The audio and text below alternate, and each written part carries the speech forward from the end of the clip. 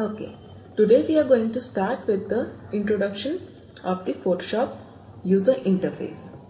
Over here we have three main panels the sidebar, the right sidebar, and the topmost, the top panel. And this area is known as the workspace. This top bar which is known as the top menu bar or topmost panel consists of some menus like file, edit, image, layer, type, select, filter, 3D, view, windows and help. Today we are going to start with the file menu. In this menu you can see you have an open option, new option, open option, browse in bridge. Browse in mini bridge. Open as open as smart object and these all options will be activated once we start working on the assignments. And you'll get to know how all these options are going to be used. Second option we have is to undo a, a step to step forward or to step backward. Cut a image copy an image paste an image and all this. Then we have image option which consists of all the options which is related to the editing of an image size. Layer. We can create layer from this option also create new layer or we have one another option as well. We'll let you know in a meanwhile. Then we have type which consists of character panel and paragraph panel. Select. We can use this option to select any images. Any image or Im images which we are working on. Filters. Filters consist of all the effects which are to be used in photoshop to edit any image to give any kind of effect to an image. 3d we can create 3d graphics with this panel view. View is used to uh, see all the rulers extra um, slices screen modes and all. I'll let you know all this once we start with the assignments. Windows windows I used to open all the panel. Like we have to uh, open action panel. I click over here and see. Action panel is here history panel is here windows info. We can start with the info panel as well. Then likewise we can open any of this panel from here. Help. Help is just an information about the photoshop software. Apart from this we have a right side panel which consists of all the information of the color stylings adjustments and over here we have layers channels and paths also the adjustments and styles these are all the effects which we can use for the styling of the image. Over here we have a left side panel which is known as a toolbar. We can use all these tools to create the image, to edit the image or to work in our project. Now let's start with a small project. Let's start, let's create a new file and let it be pixels. 500 uh, pixels width and 500 pixels height. Name it as uh, test. File. Let the resolution be 72 pixel per inch.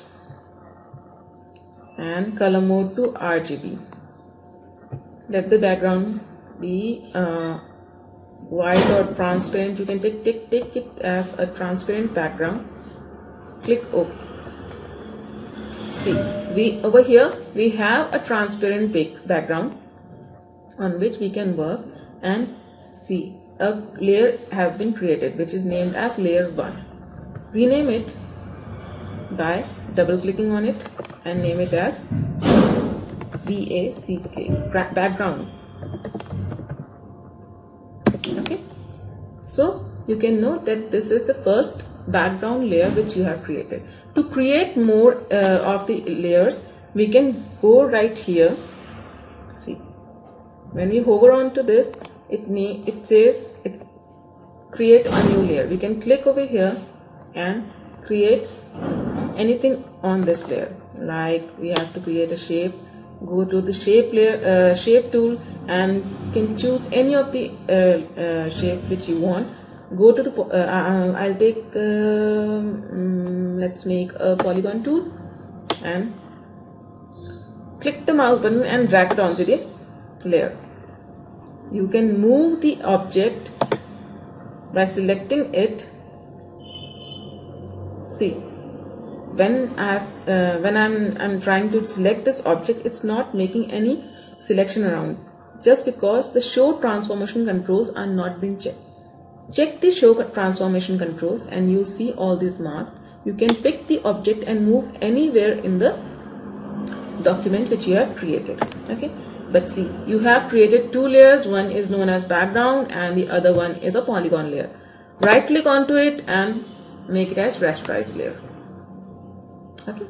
And to make more layer, you can create one more above it uh, let's take it as rectangle. You have to uh, make rectangle. If you have to make rectangle change the color double click uh, single click onto the uh, see this one is a foreground color and the other one is known as the background color. Click on to the foreground color double click and choose any color you want. You can uh, use the slider to choose the color and move the cursor around the colors to uh, get the perfect shade which you want select ok go to the bucket tool and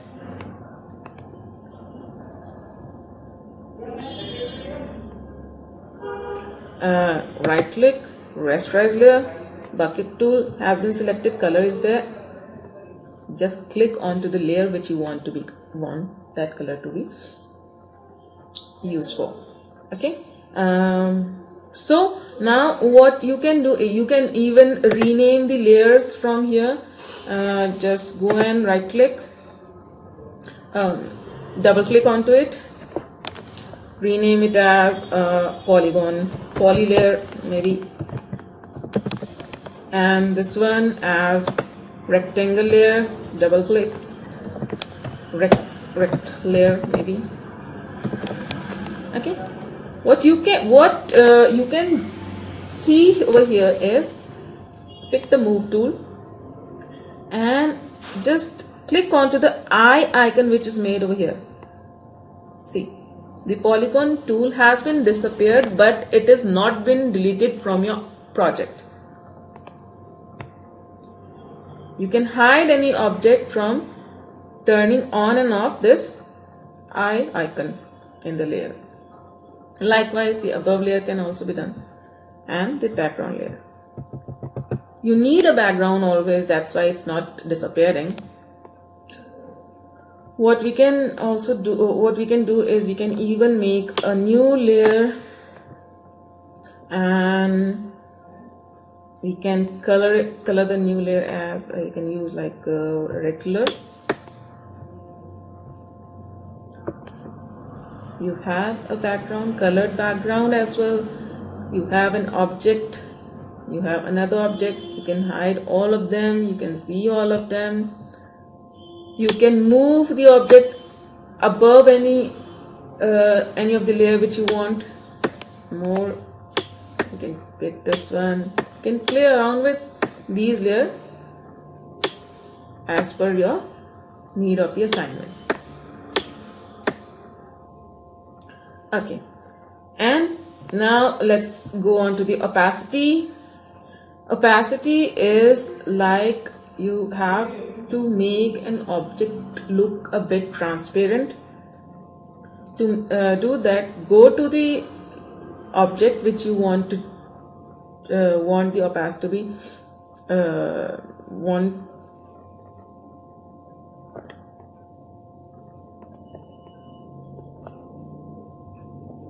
want uh, the opacity to be reduced.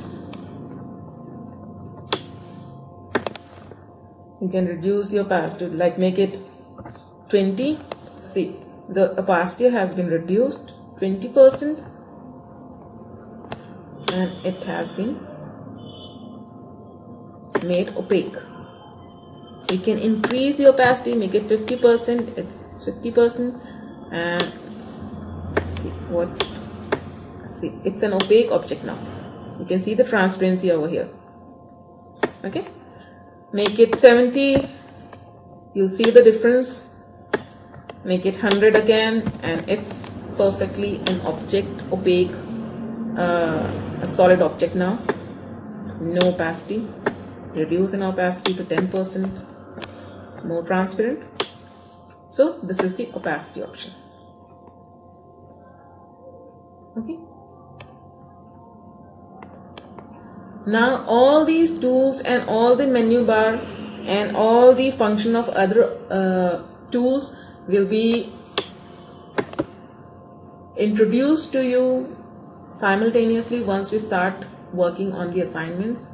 All the assignments will consist of various other tools which are to be used and you will get to know the functions of all the tools and all the filters which are being mentioned over here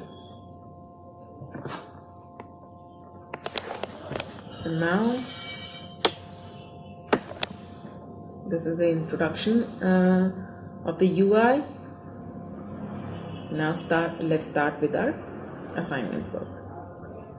In our next next video. Till then see you. Take care